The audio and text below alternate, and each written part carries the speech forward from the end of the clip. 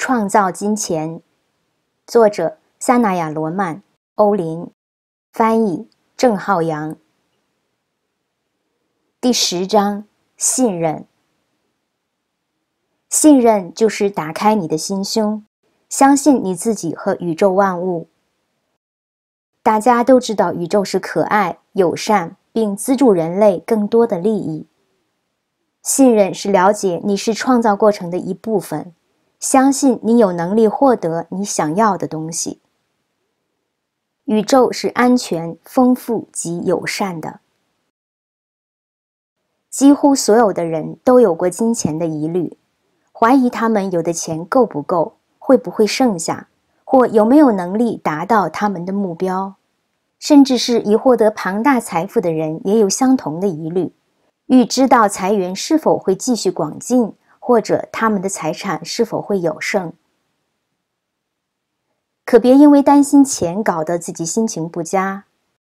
改变你担忧的习惯，不然不管你有多少钱，还是会不断的烦恼钱的问题。许多人想到钱，主要是当他们察觉到所有的金钱数量产生问题时，怀疑、担心钱的问题与你拥有的金钱数额无关。你担心钱所花的时间与你能赚的数量亦不相干。如果你能改变，仅在你感到自信与冷静时再来思考钱的问题，就可增加你的磁力，吸引所有你想要的东西。如果你正在为钱忧虑，思考钱的问题，倒不如努力于提升你对幸福的辨识力。与其问今天我需要多少钱，何不自问？今天我要如何创造财富？当你专注于开创财富，而不仅是需要金钱时，这当中你给予宇宙的能量就有巨大的不同。前句是被钱吸引，后句则否。如果你已采取任何看似适切的行动，当你仍专注于内心对于下一步行动的指示，转移注意力到其他事物。试问，我现在该怎么做才能提升我对幸福的辨识力？采取那些能建立好心情的行动，他们将鼓舞你的精神，改变你的心智状态，使你更积极地思考你的财务问题。当你觉得较好时，你就更能聆听你内心的指示，想出创新的点子。我期待只有美梦成真。而它真的发生了。信赖可用许多方式表现出来：期待美梦成真，相信你有能力创造出想要的东西，及了解你值得拥有它。这是由相信某事表达出来的，即使是外界似乎有反映出其他事情。这是以谈论你的充足潜力所展现出来的，即使你还未在身上看见它。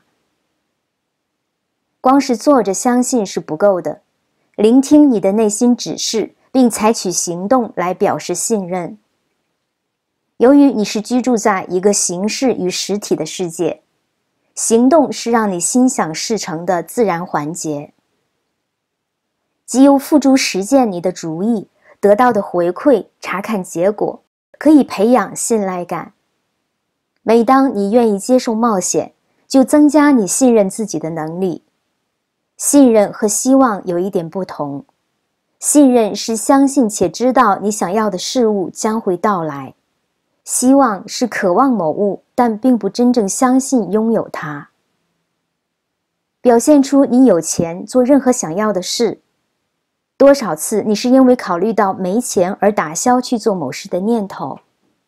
一旦等你达到目标，才发现你原先就负担得起。如果你有想要什么，就出去外面看看，心里想清楚便展开行动。你经常会发现，要得到你要的东西，根本不用花那么多钱。也许你的朋友会给你一个二手货，或者你将意外获得。采取某些行动，向宇宙表示你有心追求想要的东西。这么做也许并不能直接把东西或钱带来给你，但是。你的努力将暗示宇宙开始把你想要的东西带来。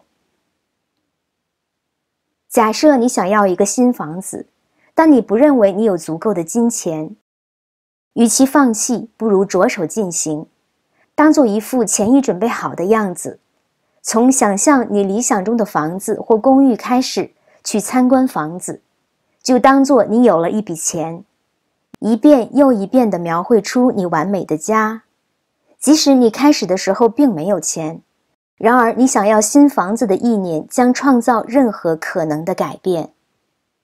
由于你表达出目的，你和特定的人事物就连接在一起，机会便因此而来。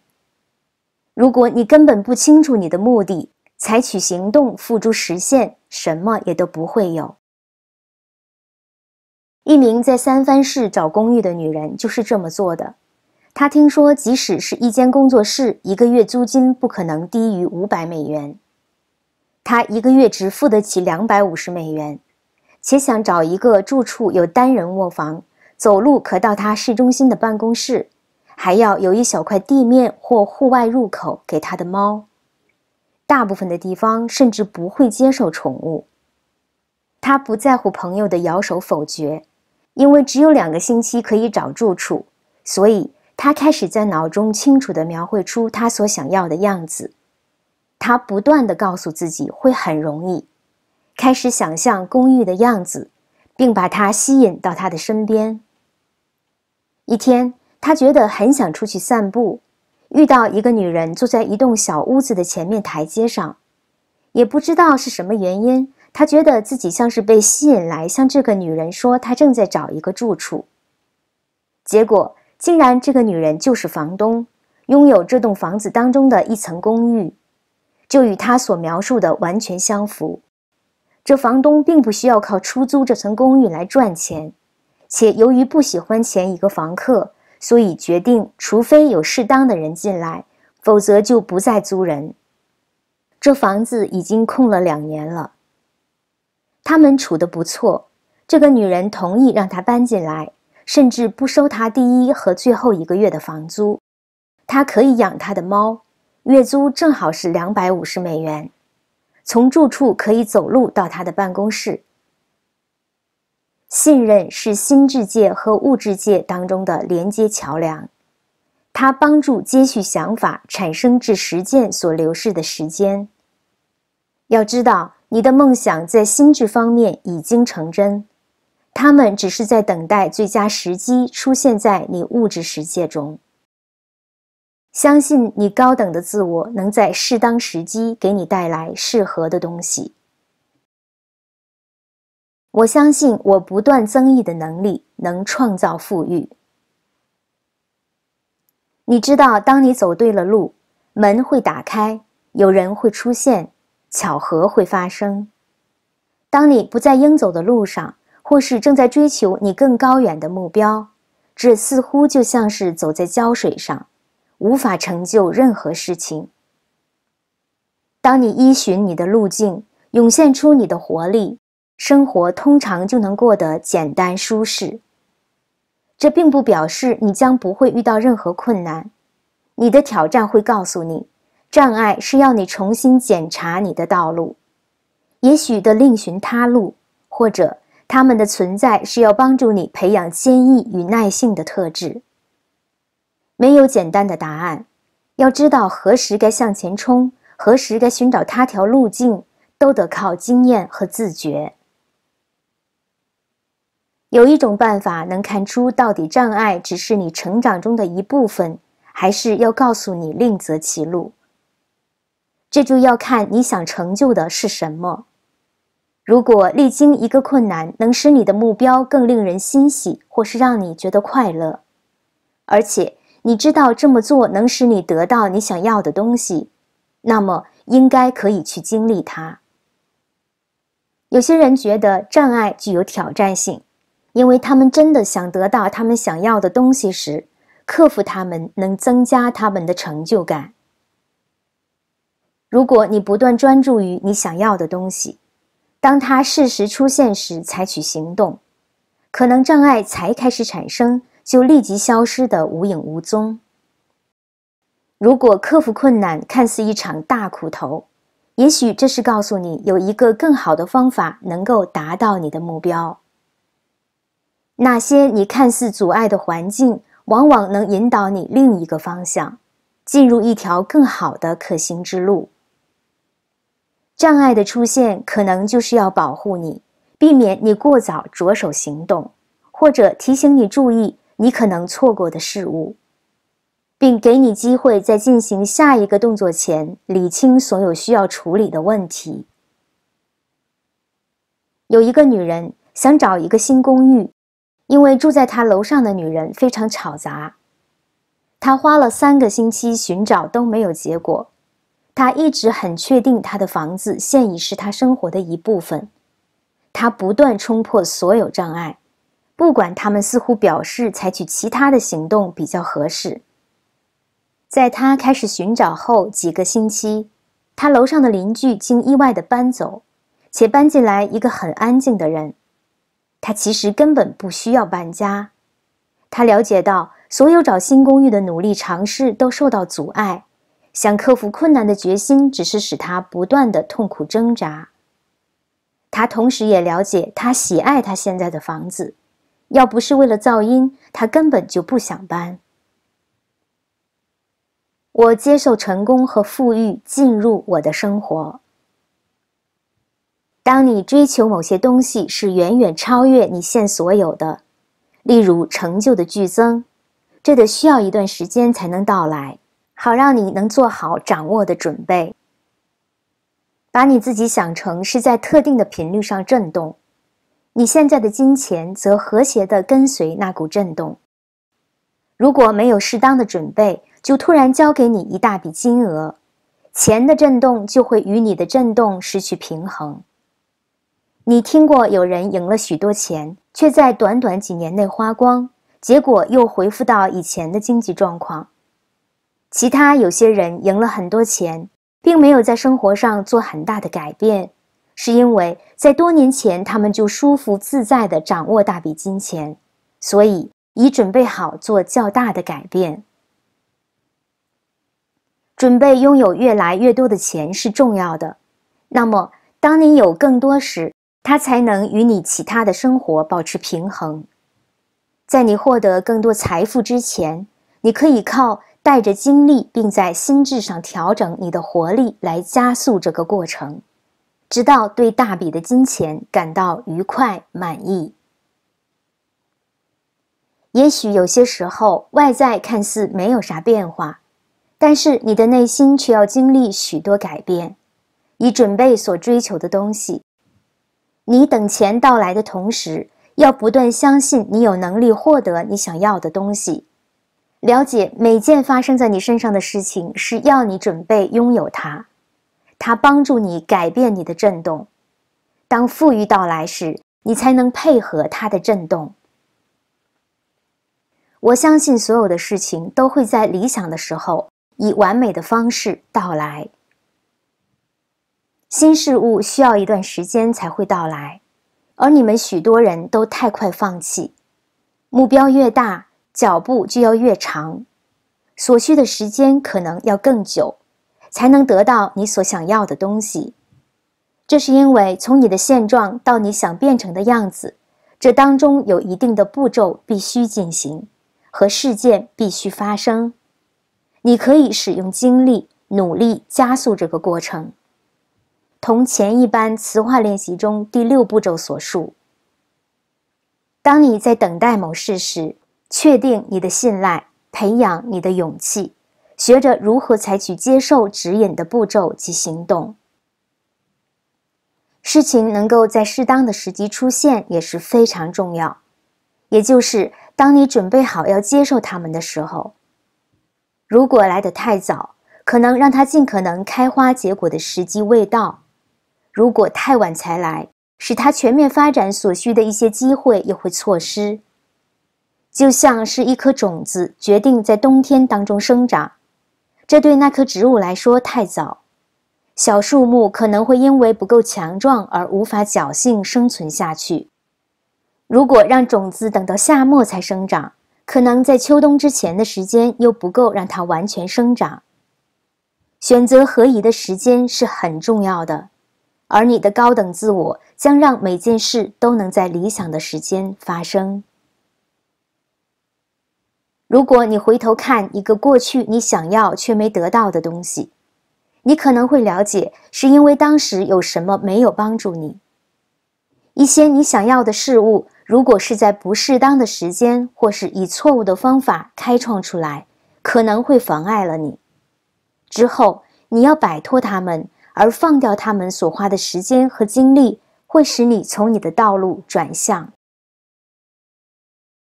培养信心是重要的，把你的目标记在脑子，与其期盼立即的结果，不如稳定的努力朝向它。当内心的指示在带领你时，你不一定都会领悟到，你觉得被指引而采取的某些行动。并不会把你带入期望的结果。相信你内心的讯息正带领你达到目的，即使你目前不知道是用什么方式。